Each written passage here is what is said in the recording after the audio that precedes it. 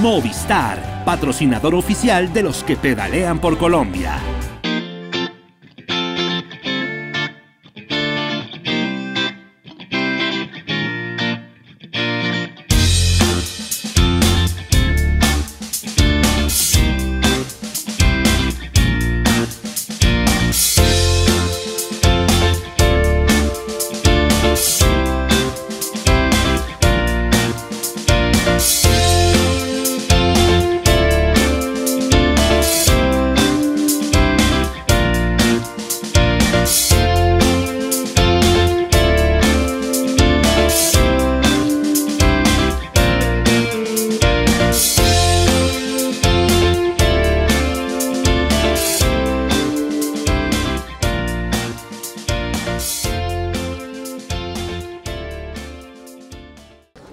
Llegamos a un punto de inflexión en el Giro de Italia número 101, la etapa 14, con una llegada que se había pronosticado como una posibilidad de movida en la clasificación general.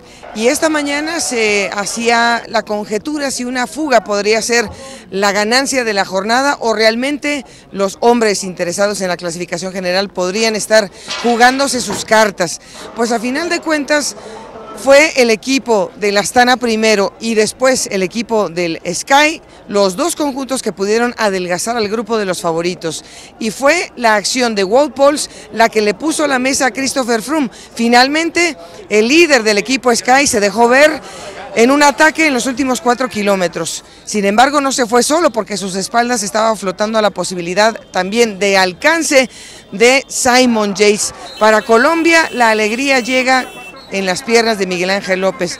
El corredor de Boyacá se metió entre los primeros cuatro en el arribo de Soncolán para ahora ser el poseedor de la camiseta blanca.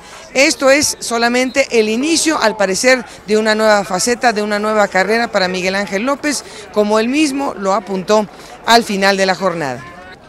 Pues la verdad que era una subida especial, ¿no? Eh, yo la había reconocido y sabía que era una locura total, era súper duro entonces había que mm, tener un ritmo constante toda la subida, ¿no? Eh, que no desfallecer en ningún momento, esa era la clave y, importante el trabajo de todo el equipo que todo el día me ha cuidado, me ha traído pues un poco entero, pues sin tanto gasto eh, al empezar la subida, porque bueno, cuando gastas en el transcurso de toda la etapa pues es un poco más complicado eh, tener fuerzas al final.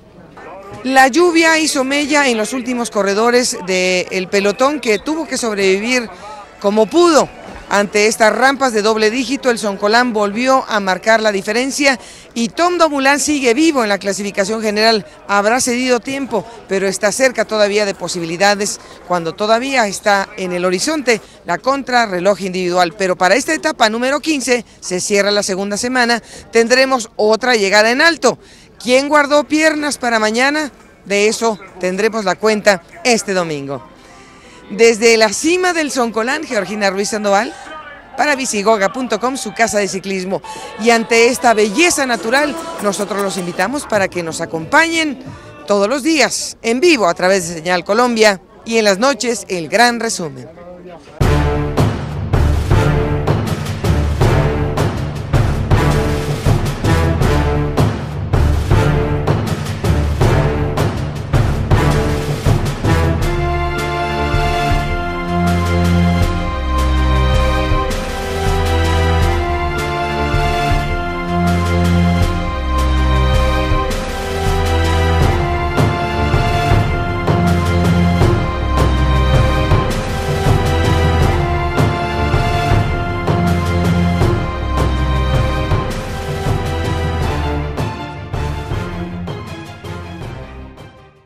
Movistar, patrocinador oficial de los que pedalean por Colombia.